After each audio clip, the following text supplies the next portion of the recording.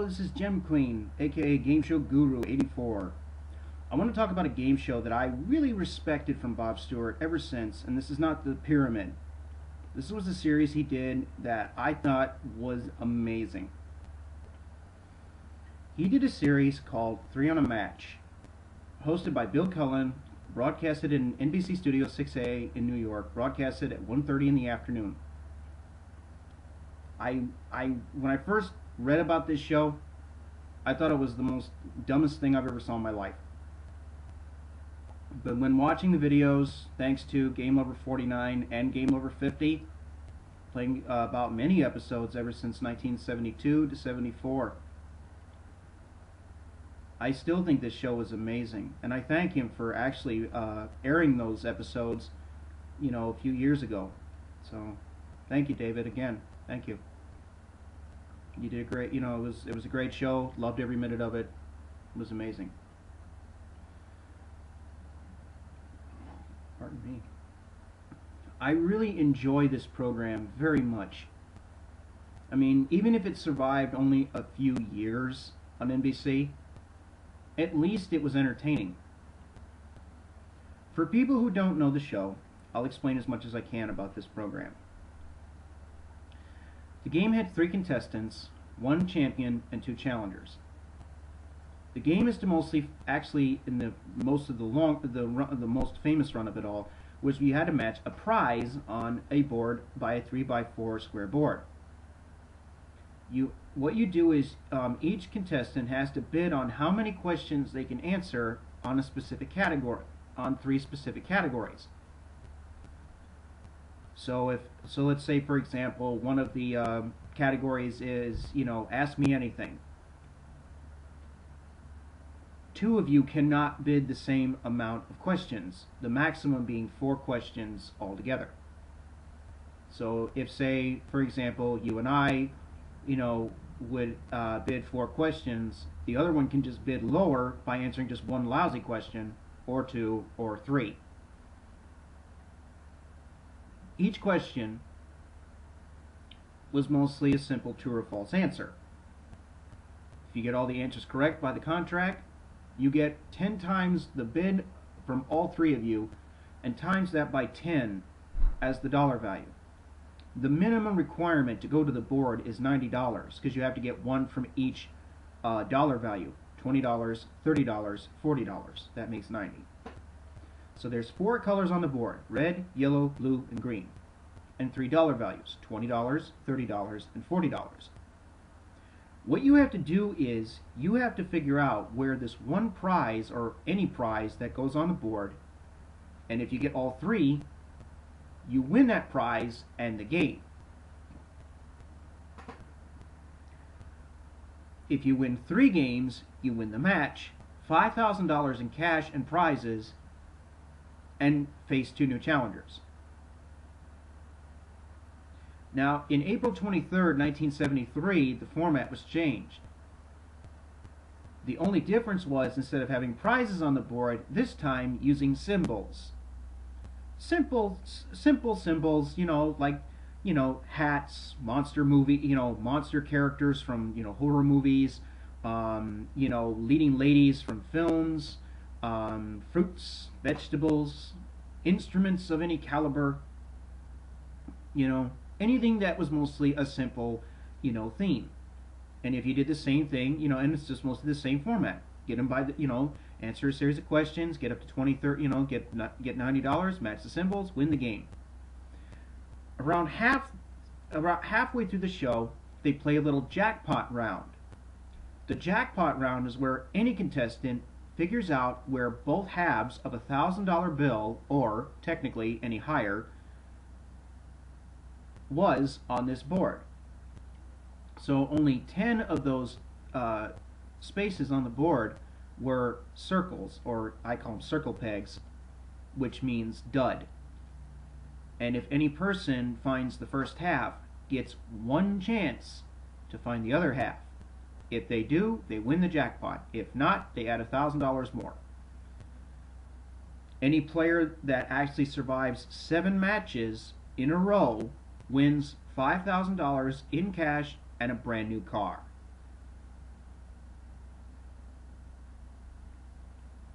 An instant match, which would be anything, and find it, you know, let's say if, you know, um, the symbols were, let's say, um, like monster film, uh, monster characters. If you found like three Wolfmen in a row, you would win the game automatically, like in like the Joker's on the Joker's Wild. It's still a great show. It was a great show from the beginning. I enjoyed it, and I think the I think the record, from what I have seen, the record uh, the record holder would be Fred Abraham. Fred Abraham was a um, IRS consultant in and was on the air from February um, 6th through the 12th of 1974. And he won, I think, the record. I think he won about like over 29,000. Was like survived like almost five days, survived five days plus, almost five and a half days. But I enjoyed that show very much. I love the challenge to it. It was a great show, and I think it should have survived a very long run on uh, NBC because everything about it was amazing. You know, the challenge was there, the strategy was there. You know, the game wasn't as difficult, it wasn't short-lived, and it wasn't a quick like you know quick game like you did back in the '60s. And, and this is around almost around the fall of 1971 when it premiered. I mean, the show premiered on August 2nd, 1971, replacing a series called Joe Garagiola's Memory Game, and survived until June 28, 1974 it's still a great game. You know, many you know network many uh, NBC affiliates around that time weren't broadcasting that show because of afternoon matinee. I know in Syracuse they never played this series from the beginning, which I thought was very disappointing. But in my opinion, the show was my favorite Bob Stewart game show that has ever been uh, in his great creation. I think he really put a lot of effort to this show. I really think he did very well in the game itself. And I feel that, you know, it should have survived a longer run. And I think it should have been, you know, kind of like the pyramid, you know, had a long run, had a great, you know, and everything. But you know, this is one of Bob Stewart's, you know, of one of my favorite Bob Stewart game shows. There's many others out there that I will discuss on a few videos, you know, around the time. You know, but after Three on a Match, another Bob Stewart game show that happened on NBC called Winning Streak. Winning Streak, in my opinion, is pretty challenging. I really like this show too. The program was broadcasted on the same day as High Rollers was uh, was premiered on July 1st, 1974, and was canceled the same day as when Jeopardy was canceled on January 3rd, 1975. The program was broadcasted at 10:30 a.m. and the game was this. Winning Streak is mostly just trying to play is mostly what they had to say like having a winning streak. But here's how the main game was played. I think the main game was pretty quick. Probably this is one of the main reasons why the show failed beyond words. The goal is to mostly have, you know, to try to spell out a word by answering a series of questions. The goal is mostly trying to get a word like say like thing, you know, like for an example, things you would have for breakfast. And you would have to spell it out from 16 letters on the board, like boggle, and if you spell out the word, you win the game. Now, the bonus round lasted two, uh, two forms. The first form, having the one the winner of the day, or the winner of the game, play what they call a winning streak.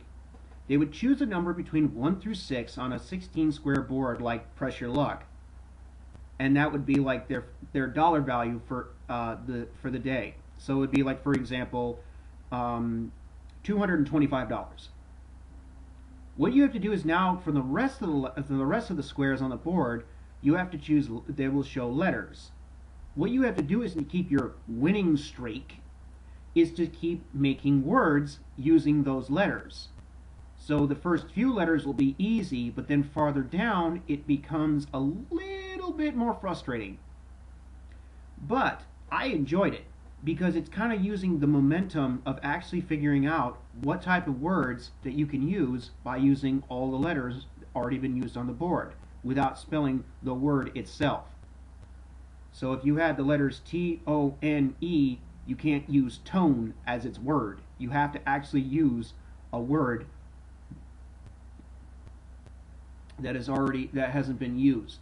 So it's kind of like putting hot streak and you know putting the original hot streak before it was aired and putting you know um, mostly word search or crossword you know lingo inside your mind.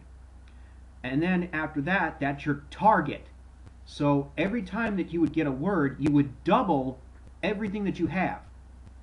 So you would go 225 415 so on and so forth until you either quit or until you couldn't get a word now if you don't get a word correctly the chain stops now the goal for the second half of this form is now against the champion of the day against the winner of the day now you play another series of letters. What you have to do is both of you have to keep spelling out words until one of you either breaks, until someone breaks the chain. Whoever breaks the chain wins the jackpot of whatever was played. So say if, let's say if the jackpot was $6,375. Let's just say that as an example.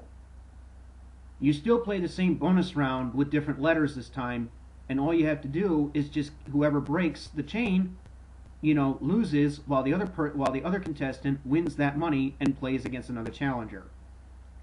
I think it was pretty well built, even for 1974. I still think it had a great challenge. I still think it was very challenging. I mean, even with um, only one existing episode that has been played on on YouTube, thanks to Blanquepage. I thank him very much for airing it. When I watched it on YouTube, I was very amazed how this show was. I think this show sur- should have survived a very long run, even for the same amount of time as The Joker's Wild, a couple years. It was a very challenging game. I think it was very well built, and I think it was impressive that you know that you mostly see. I'm very fascinated with word games. I'm very fascinated by those games like Scrabble and Wheel of Fortune, you know, Winning Streak, the pyramids, and so on and so forth. Using that type of momentum inside your mind, just putting words in your head. That's the best part of actually playing Winning Streak, and I think it should have survived a very long run, and technically it did not. but all I can say is just, you know, Bob Stewart had a really great momentum with that because he did Password on CBS in the 60s and many other and the original Price is Right. And in my opinion, I still think that, you know, these shows were very successful and I think his ideas from those shows did very well with him during the 70s and 80s. So technically, I still think Three on a Match and Winning Streak are one of my favorite Bob Stewart's um, you know, bottom of the barrel game shows that he did on, you know, on network television. There's others out there that I will kind of discuss in different fil- in different episodes or different videos from now. But I wanted to explain why with you know with uh, winning streak and Three on a Match as much as possible until the time being. Well, I thank you all for enjoying this video. Um, I will keep uh, posting up new videos about you know game shows I hate and love at the same time. So I hope you enjoy this. Like it, comment it. Thank you so much, everybody. Bye, everybody.